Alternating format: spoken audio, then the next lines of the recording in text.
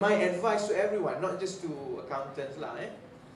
take charge. Take charge, know what you want to do, don't just follow the flow.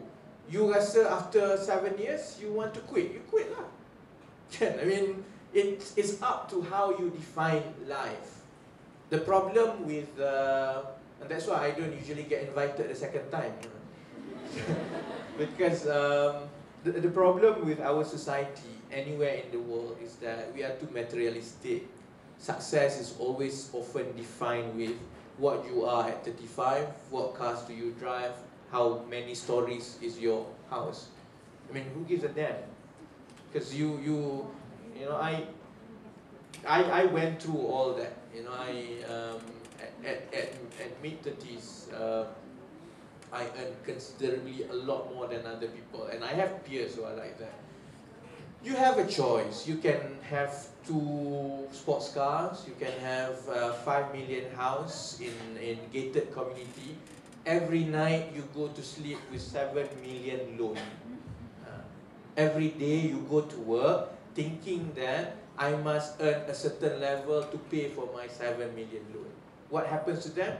They become moron.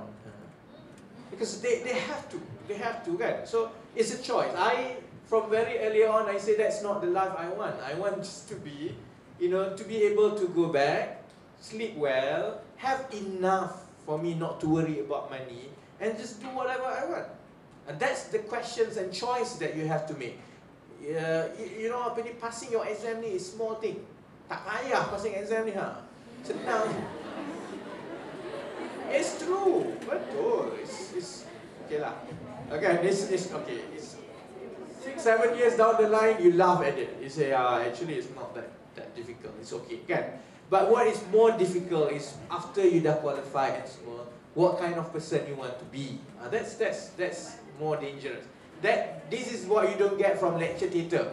Yeah, your lecturer will not tell you that after seven years, if you want to leave job, you leave job. That's good. Uh, but that's the reality in life. You, you decide. You sekarang, and all I want to achieve in this very short session is that to open up your eyes and to see life is yours to take.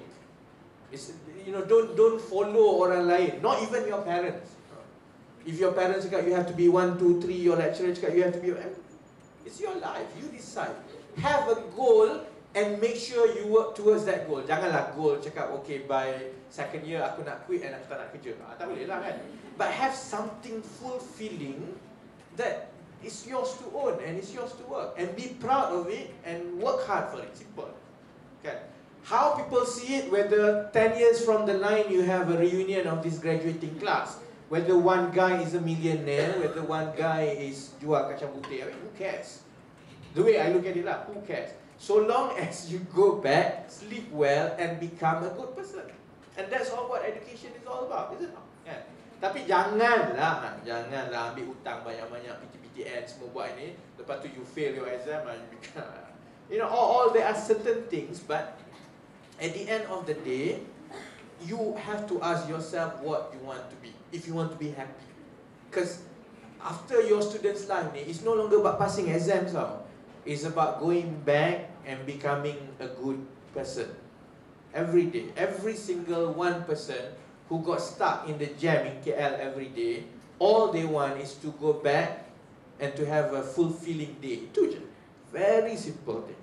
And it's the minor minor thing yang I kata tadi, you know, your plan, the way you look at life, your values, ah, itu yang yang jadi issue.